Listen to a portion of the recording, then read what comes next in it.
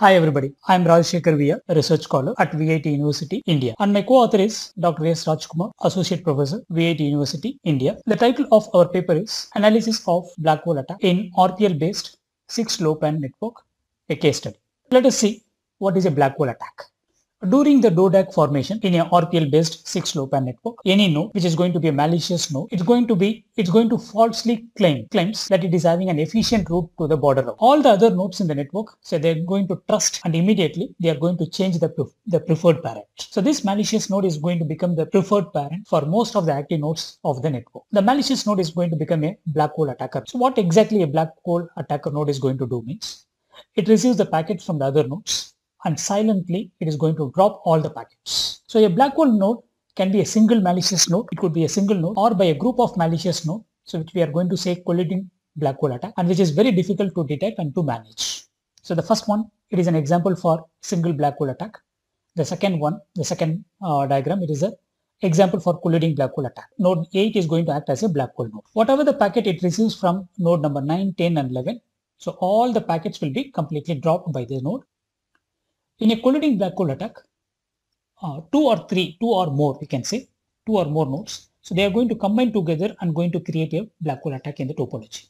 So in this case, three and four are the black hole nodes. So they are creating a colliding black hole attack. So here the packets received from 6 and 7 it will be dropped by node number 3.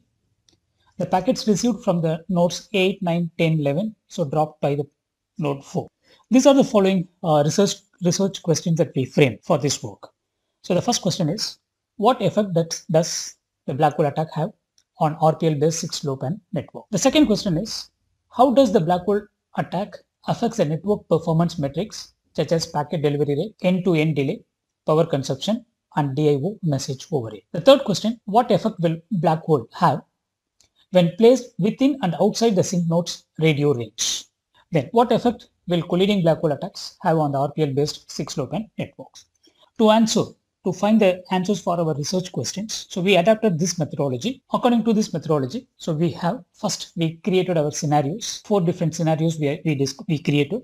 Objective function selection, we created some automated scripts by using Perl. So this is used to capture the, the activity, that means the events. Then the performance uh, parameters, we run the simulator for a particular period of time generated the log files. So whatever the log files created, so we, we analyze the log files and compare the results. So we created four different scenarios. So the first scenario, it is a reference topology. So in which there is no malicious nodes. So node 1 is a sink node and all the other nodes are the UDP sender nodes. So this particular topology is completely free. It is completely free from the malicious nodes. And this we used as a reference topology.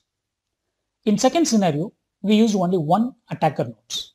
So this is attacker node, A1 is attacker node. So here we had two test cases.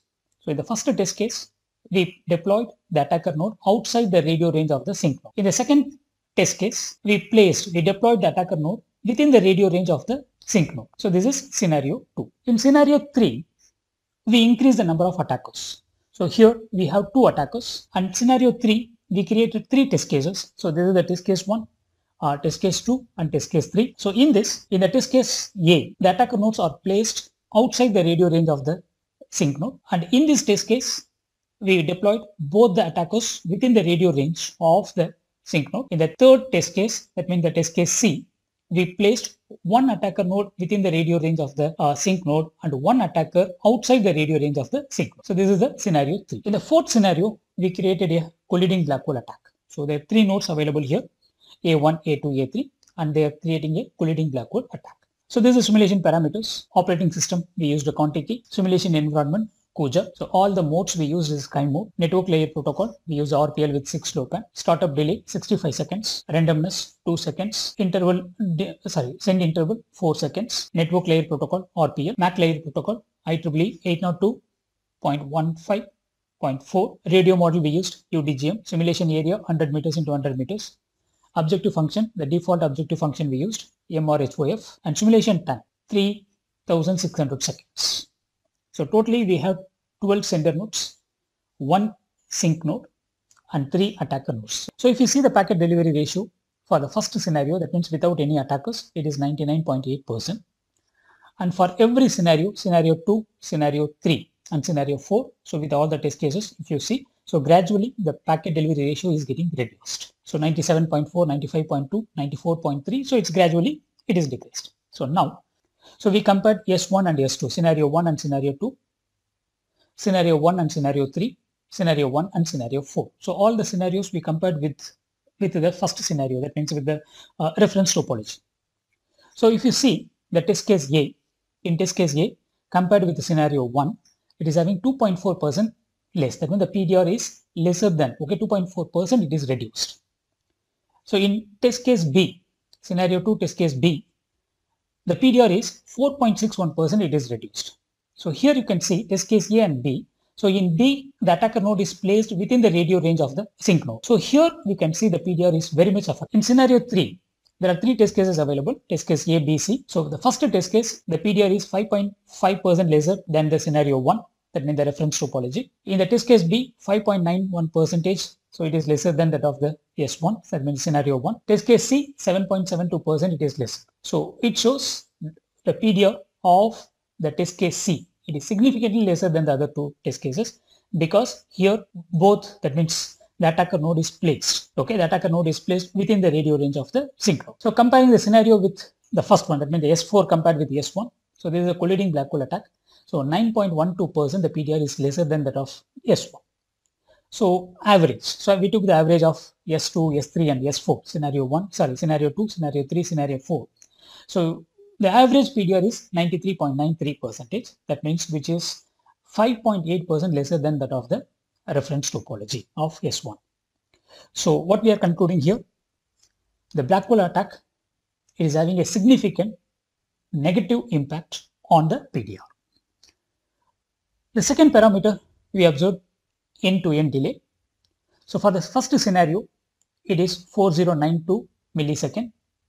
And this is for the second scenarios, S2, third scenario, all the test cases, and fourth scenario. So there is a gradual increase available now. So that means end-to-end -end delay is increasing.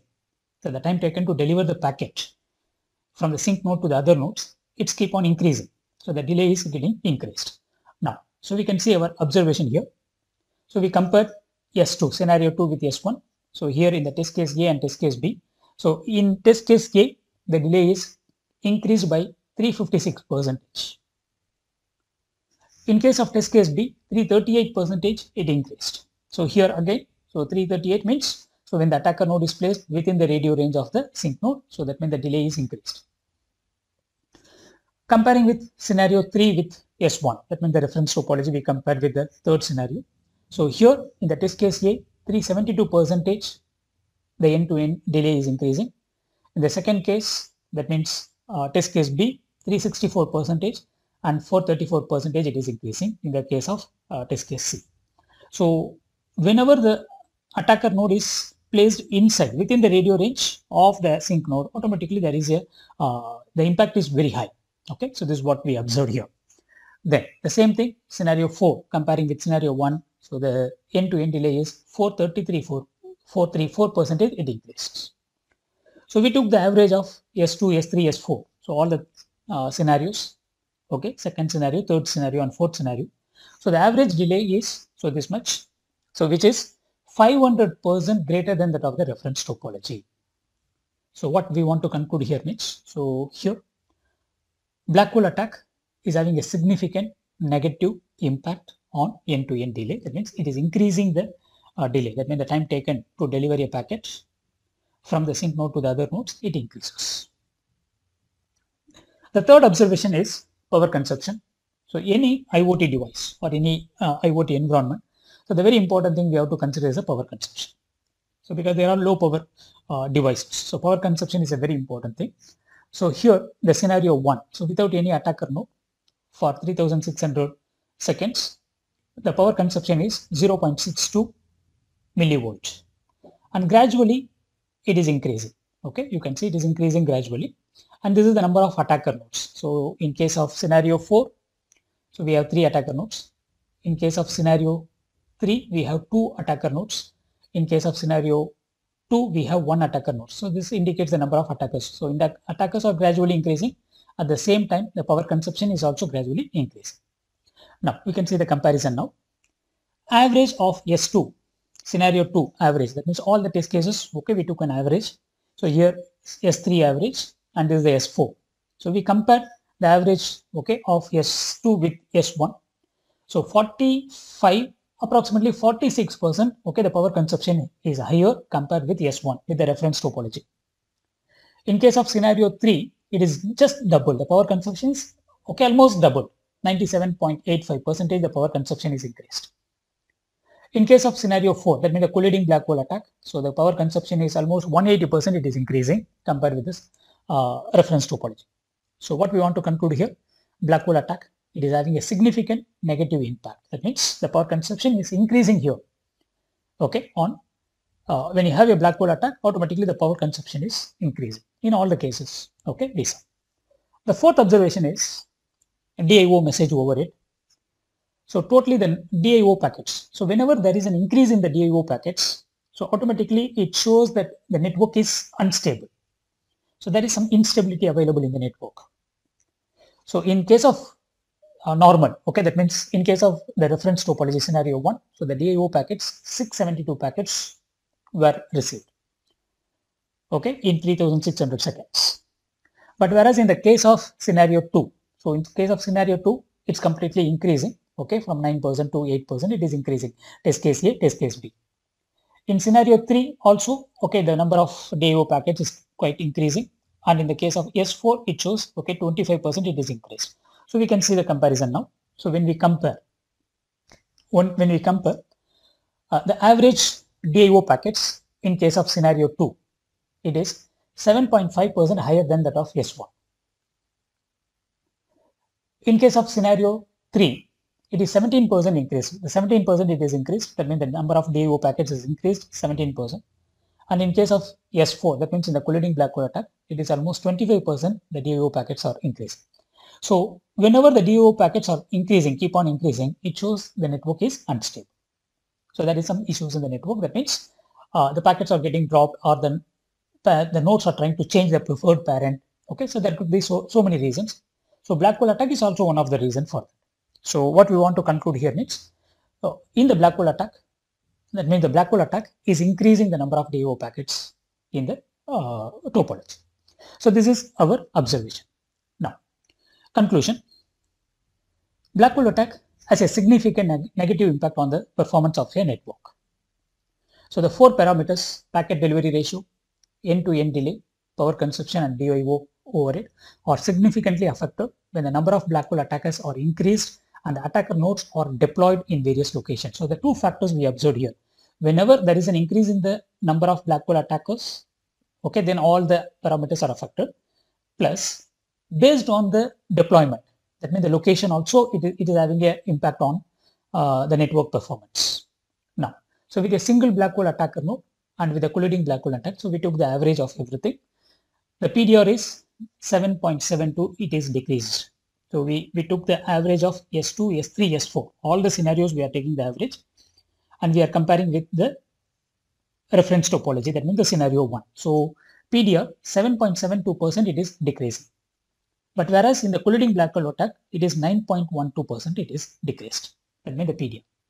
So there is packet drop is going on more, okay, in the colliding black hole attack.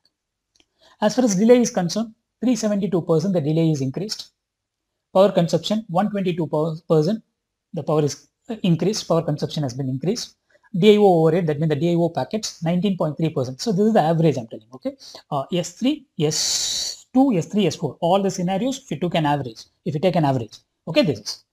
So in case of colliding black hole attack also you can see DIO is 25 percent it is increased.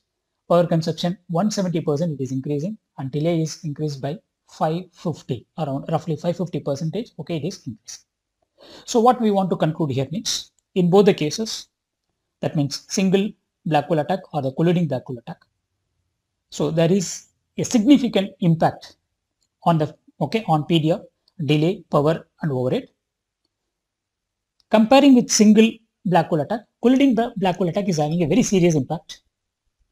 And then the deployment place, the, the deployment location. So where we are deploying the attacker node that is also going to plays a major role okay which is affecting all these parameters. So this is what okay our conclusion